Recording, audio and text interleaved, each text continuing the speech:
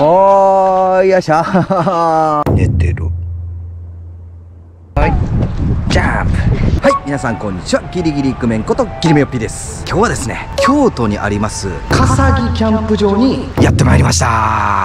デイキャンプなんですけどね。はいということでね笠木キャンプ場にデイキャンプでやってまいりました。こちら視聴者さんの方からリクエストいただいてた有名なキャンプ場なんですけれども本日ですね三重県からのはしごキャンプの帰りに、まあ奥さんがどっか寄りたいということでちょうどね道沿いにこちらのキャンプ場を見つけたんですね。せっかくなんでねやってきた次第でございます。でまあちょうど平日なんですけどもお客さんがおるおるおるおるめっちゃおるんですよ。でちょっとね細い道をねぐぐっと入るようになってるんで大型はちょっと厳しいですね。ミニバンでもね怖いぐらいでしたね。でこちら料金がなんとデイキャンプ1人500円。宿泊1人1000円ということでめちゃくちゃ安いんですね。でさらに広大な敷地はフリーサイトとなっておりまして京都では一番有名なキャンプ場じゃないでしょうか。でまあね人がいてるのでそんなにね要所要所取れないとは思いますがちょっとね頑張ってやっていきたいなと思います。僕はデイキャンプです。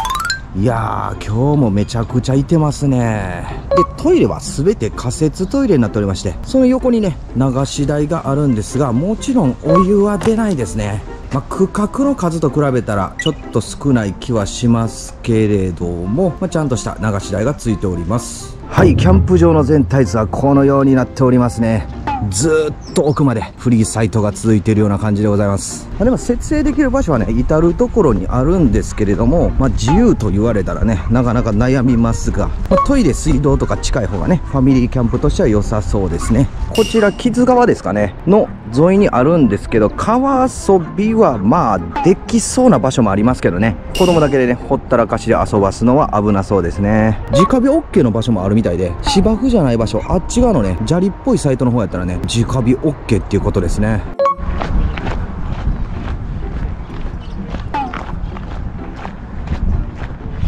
ちなみにこれうちです。今日はねチーズタープでデイキャンプするんですけれどもぼっちゃんは？なあそんで電車やねん。あ電車。こんな感じで。結構ね音響きますね。はーい。ジャンプいやー景観も良くて気持ちいいんですけどね。風がやっぱり強いですね。今日やから風が強いっていうよりはまあこのキャンプ場自体ちょっと風は強めやと思いますね。はいサイトの土の状態ですね。ちょっと緩いかなっていうぐらいですね。多分あっちに行けば行くほど土は緩くなってくるような感じがしますね。炭造でもちょっとぐらついてます。風がきついんでね。場合によっては2本打ちした方がいいかもしれないですね。まあそれでも大型タープで微動だにしないで3 0センチぐらいの炭造であれば問題ないかなと思います。基本的には全てオートサイトですね。車の乗り入れが可能ということでやっぱりソロの方とか多いですけどめっちゃいいですよねソロやったら。ここのスポットは。奥の方もね多分ね設営できるんでちょっと見に行ってみます。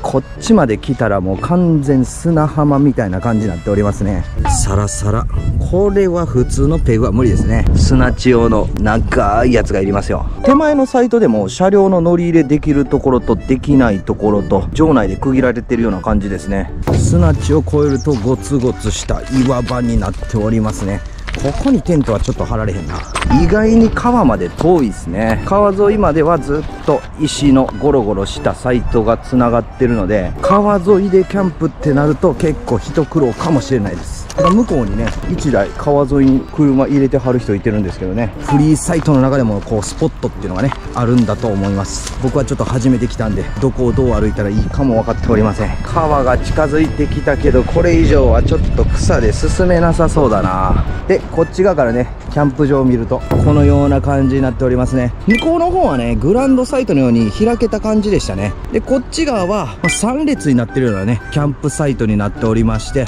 まあ比較的設営はこっちはしやすいんじゃないかなと思います。でこっちの方まで来るとちょっと上級者寄りになってきそうな気はしますね。何よりね風が強いんで結構ねタープ撤収されてる方いましたね。はいこちらキャンプサイトから上がると自販機あるんですね。場内自販機もございます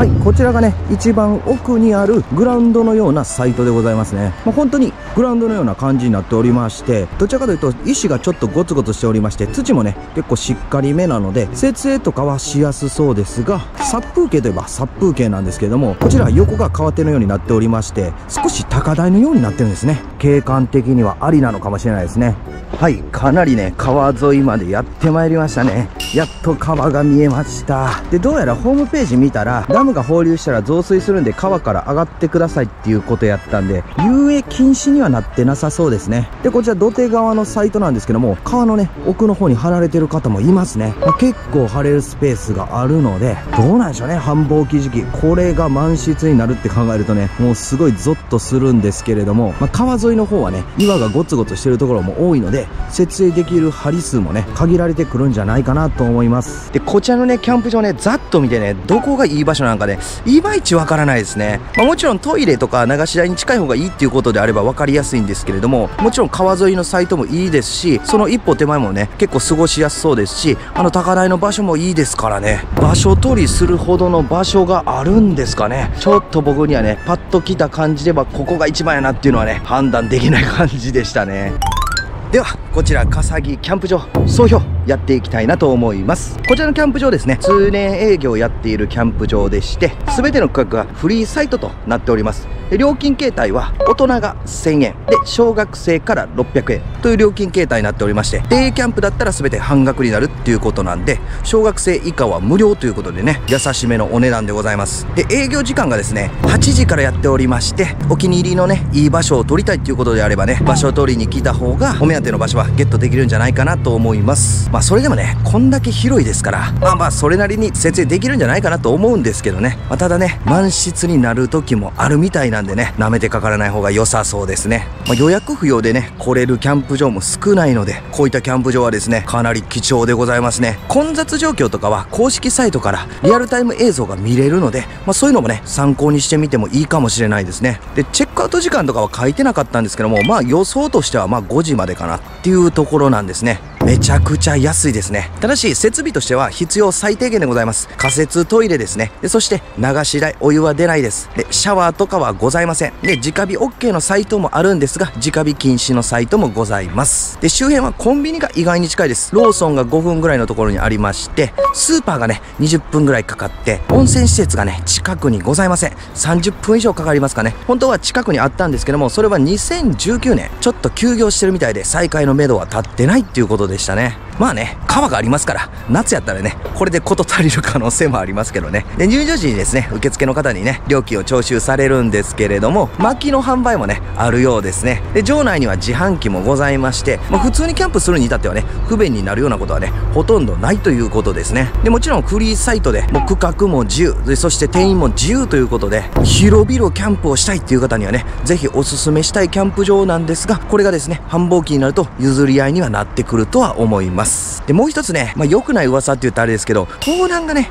結構多いみたいですね。500円でねパッと入れて誰が出入りして誰が出入りしてね名前とか書く帳簿とかもないのでねこういったキャンプ場っていうのはですねそういったことにはより注意する必要はあると思います。まあこれはねキャンプする側もですねきっちりと大事なものは車に直すとかですねサイトから離れないようにするとかねいろんな工夫はいるんじゃないかなと思います。でまあ僕の感想としましてはファミリーキャンプって考えると、まあ、ちょっと不向きなキャンプ場じゃないかなとは思いますがキャンプ慣れしてる人であれば全全然自由にキャンプできてファミリーキャンプに向いてるかっていうと、まあ、設備等は必要最低限っていう感じなので、もう完全にファミリー楽しいですよっていうような場所ではございませんが、キャンプ慣れしてる人とかだと、十分楽しいキャンプできるんじゃないかなと思います。で、大阪からの道のりもですね、1時間半かからないぐらいと、なかなかアクセスもいいんですね。で、ここまでの道中は、しっかり片側1車線ございますが、場内にね、入る手前がね、少し狭くなってるので、大型車はちょっと厳しいんじゃないかなと思います。まあ、ミニバンクラスであれば、十分じゃないかなと思いますね。でもちろんほぼ市街地みたいなものなので電波は良好でございますね。ということで今回はですねデイキャンプということでしたが2連泊の後にデイキャンプ2.5泊経験したわけでございますけれどもなかなかね壮大でねいいキャンプ場だと思います、まあ、人気が出るのはね分かりますよこれは。ソロとかやとねもう迷わずここ選ぼうかなっていうぐらいの環境下でございますね。やはり車で乗り入れできるっていうのはね大きいですからね。またねこういった情報とかね配信していきますのでよかったらチャンネル登録よろしくお願いします。では笠木キャンプ場からお送りしました。バイバイ。